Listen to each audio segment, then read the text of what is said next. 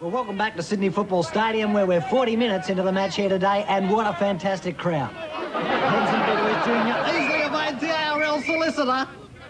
But he's been blindsided. By Chief Justice Piggy Winthrop, who's got possession. Ponsonby, QC, going the gouge. But the court reporter's got him in the squirrel grip. And that's the siren, and it's all over here. Super League 34, ARL 42, with three suspensions, nine injunctions, and 87 personal injury claims arising. Now that's all we have time for. But now it's time for some post-match entertainment with Tina Turner, and she'll be singing her Super League anthem. What sport got to do with it?